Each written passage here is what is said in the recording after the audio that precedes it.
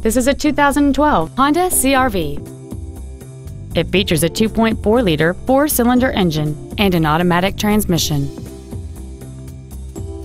Its top features include a moonroof, a low tire pressure indicator, traction control and stability control systems, aluminum wheels, and a backup camera. The following features are also included heater vents for rear seat passengers, keyless entry, an engine immobilizer theft deterrent system, an illuminated driver's side vanity mirror, fog lamps, privacy glass, a brake assist system, a passenger side airbag, rear seat child-proof door locks, and cruise control.